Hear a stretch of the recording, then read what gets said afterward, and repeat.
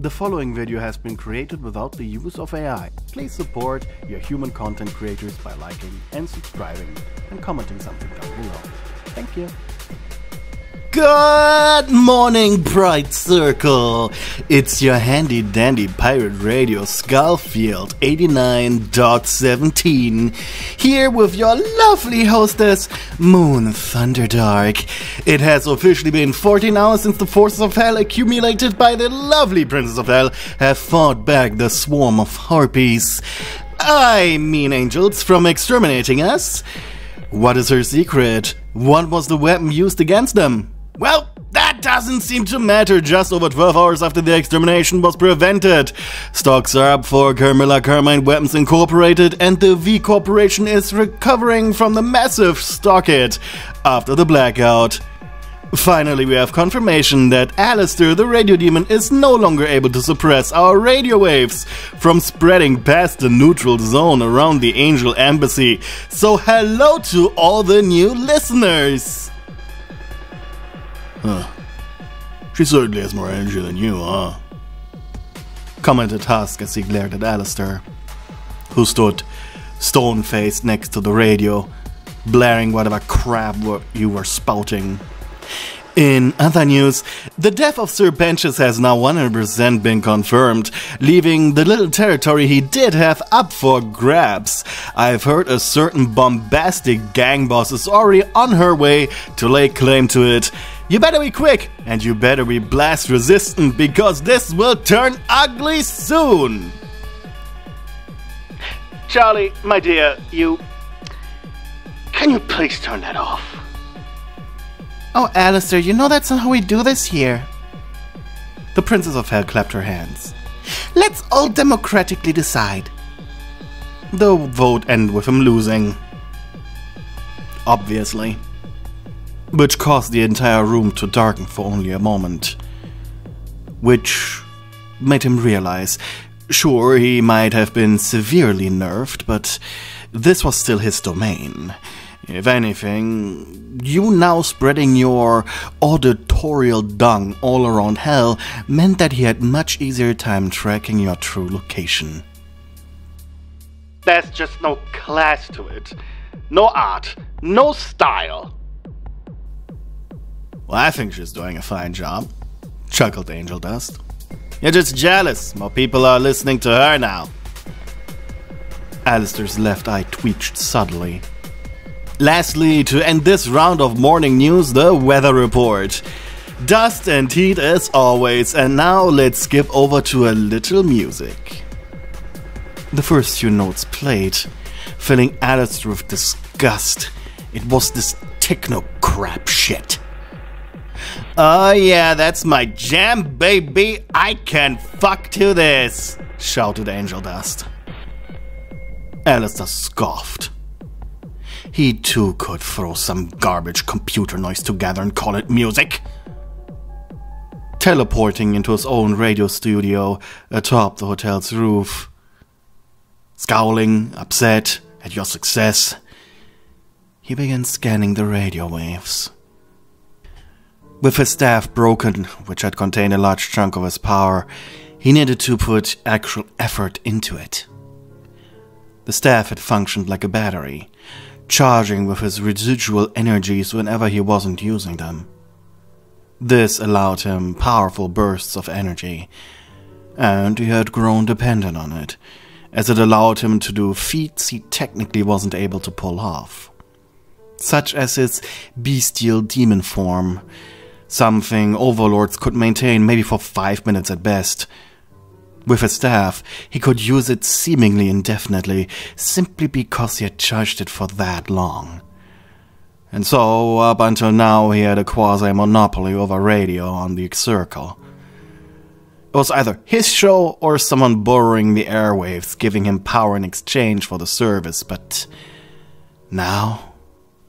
Countless pirate radios were popping up, and yours, yours was the most successful if he could control you, the others would fold no matter what, and he would stop your nonsense ear bleeding crap. His eyes flickered with static. There was interference from all the other pirate radios plopping up, but as he twisted the dials on his studio and released his twisted energy into the flow of noise, he discovered a constant. It was faint. He found himself swimming through an ocean of TV static, with one shape somehow being visible. Alastor pushed forward, a path through the buzz, until he stretched out his hand from the glitching liquid, taking hold of the shape, and then everything was sucked into him like he was the hole in a faucet. The world around him became a hole again, and he was somewhere else now. Targeted teleportation. He stood in front of a rather unassuming building. The only indicator that anything strange was going on here was the slightly bigger than uh, normal radio antenna on the construction's roof. It even had red lights blinking at its peak. Alastor scoffed. Even though technically this was the bare minimum, this was disgustingly simple. Dare you rival him? With his hands folded behind his back, he stepped into the building. Front door unlocked. This was a crappy slum after all. It was safer to leave the door open and show any intruders that, in fact, there was nothing to grab, so just leave. Which was interesting to the radio demon. It looked terrible inside. Broken floors, trash and debris practically everywhere, but he could sense no present around him. The entire first and second floor were entirely empty, devoid of any life. The pipes creaked, the wood ached. It would have been scary for a mortal soul, but not Alastor. For him, this was nothing. But it was as he ascended to the third floor when things changed. It wasn't clean by any means, but tidy. Even the graffiti that had been plastering the walls everywhere was absent here. Alastor tapped his right cheek in thought. He was almost curious to explore the other rooms here, but no, he had a goal. It was the fourth floor that was drastically different. And he could feel it. The static, the waves, the power of the radio. His gaze shifted. There were doors leading into empty apartments, but one was different. It was red, a metal door. With anticipation and a smug grin, he approached it. His hand stretching out, he placed it on the handle. Using his powers, he clicked open the lock. A trivial task for an overlord. Pushing down slowly, Alastor first peeked inside. It was a very clean environment, albeit quite dark. Opposite to him was a mixed desk with a person sitting at it. So this was you, Moon Thunderdark. But something was off. Alastor's eyes narrowed.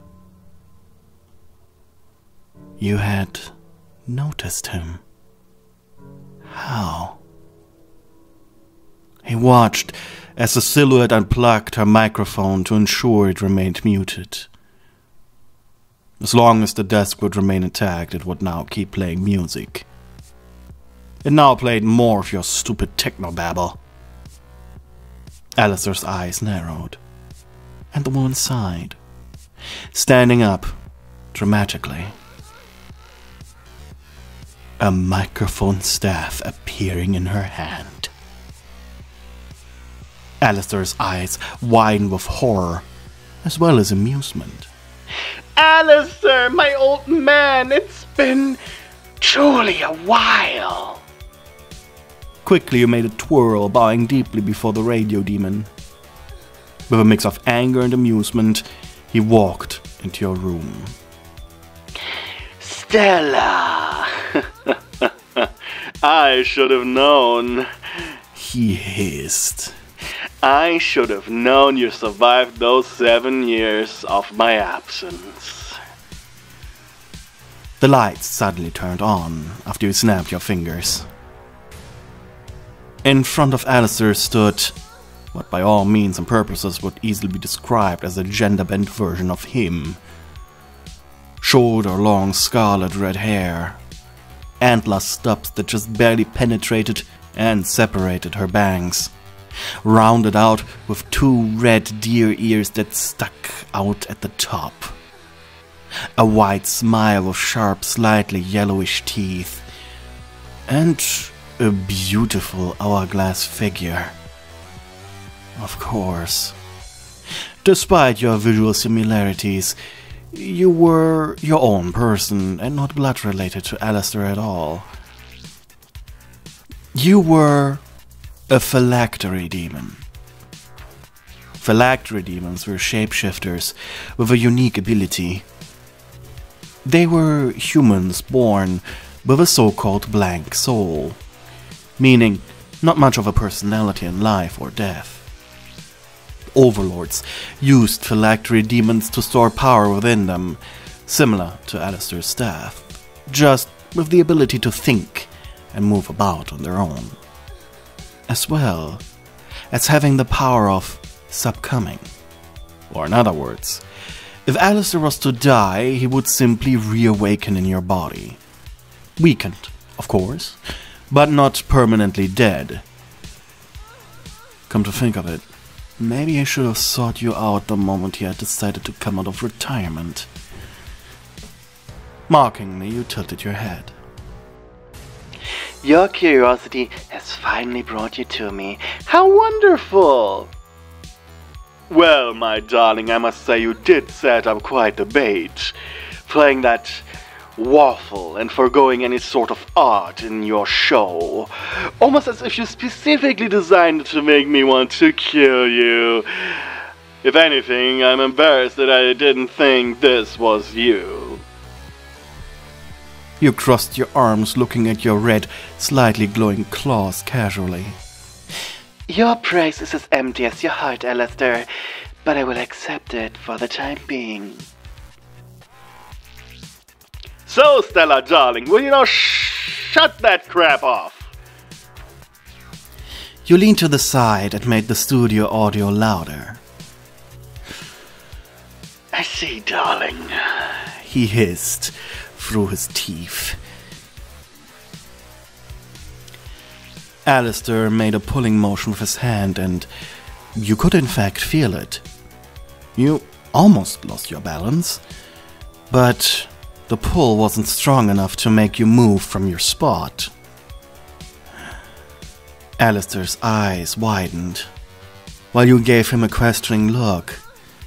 No tentacles. There was no furniture being thrown. Not even laser beams were exchanged. He didn't even transform. Alastor's smile almost faltered as he looked at his left hand, bewildered. He was disgusted by his own weakness. Tommy Alastor. You suddenly whispered into his ear as you had teleported behind him. Your hands on his shoulders, squeezing tightly. How does it feel having a phylactery that's more powerful than you?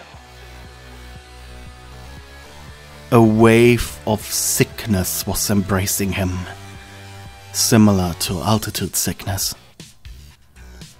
Hmm, maybe I take on the moniker as Radio Demon. I'm much more charming than you, anyways. He growled, turning, both hands taking hold of your throat. You grunted. His grip was tight, filled with murderous intent. How dare you, you little whore? He laughed. Do you even know what I'm capable of? Your grin, however, didn't vanish. You looked down at him, and he could feel it. He was so angry. He was the one to first lose his cool. Even if he killed you and took back his remaining power from you, it would be a hollow victory because you managed to get under his skin. His grip tightened. A twitch of desperation beneath his right eye. The worst thing, he wasn't feeling the rush of the kill, the rush of hurting someone, because he felt cornered, borderline afraid. It was when the bones of your neck creaked, when you decided that's enough. Your right hand glowed green and you placed it on his chest. And after an intense moment of nothing, he flew backwards with the force akin to being hit by a car, flying right over your radio desk, slamming into the wall. Leaving behind an Alastor shaped dent as he slid to the ground. He exhaled painfully while you rubbed your damaged neck. Alastor, my dear friend. You growled through your throat. I don't even want this fight. Approaching him, you pointed your staff at him. I just. It's been seven years. Seven years of having no contact with my sire. I wanted to see you. Really bad. There was humiliation in the radio static of your voice. I don't even care you're pathetic now. You tilted your head. If anything, that makes me want you more. You stood above him. He looked up at you, breathing heavily, his knee ears pressed tightly against his scalp. You bowed down to him, your hands on his shoulders, rubbing them again. I'm your phylactery, Alastor. All I want is your attention. All I need is your attention. And be taken care of by you. After all, I gave up my real self to you. Remember? That means a lot. There was mockery in your tone, and yet it was the truth. Your mind, body, and very soul were connected to him on a deep personal level, thanks to you being his phylactery. so what now, darling? We exchanged some fluids, and then what? You leave? Well, I might would have done that if you weren't such a worm right now. You grinned. He grinned. Both of you attempting to predict the next move of the other. You both of you knew that this were two predators hungrily staring at each other. Alastor already despite the exchange of physicality. Now being forced to do it with what essentially was him with boobs was making it worse. I will, of course, keep doing my radio show. See it as motivation, my dear. You purred as you cupped his chin with your hand, forcing him to look right into your eyes. And then you press your lips against his. Aggressively, you shoved your tongue into his mouth, but as he tried to bite down, you grabbed his antlers with your right hand, pulling at them harshly. They were directly connected to his scalp, his weak spot. This caused him immense pain, and reluctantly, he pulled his teeth back. His will was almost broken. You forced your tongue to rub against his. It had a very faint, sweet taste. Knowing his propensity for enjoying a good Earl Grey with caramel cookies, there was a chance this was the reason. After intertwining your long, slender organs for a few minutes, slimy, rubbing, feeling the heat of each other, you pulled away. Tongue lolled out of your mouth. You snickered. Well, if you're done, darling, I shall take my leave. You pressed a finger on Azalvia wet lips. Uh, uh, uh. We are done when I say we're done. Standing up, you began unbuttoning your red suit. You better get ready, Alastor, old friend. After all, you have seven years to make up to me. Uh, I'm going to write you like we're going to repopulate the planet. Hey, thank you for making it to the very end of the video. I hope you enjoyed it, and please remember to like and subscribe. But before I say goodbye, I would like to shout out all of my lovely channel members, especially my darling stewards. Husky HD 17, Bella Mare, Mystic Jade 111, Giovanni Moretti, Twilight Mia, Angry Boxman, Hella, Melofia, Anonymous Weep, and Nicodemus D. I couldn't do this without your help. Thank you for your continued support. Anyways, I hope you have a nice day. Goodbye.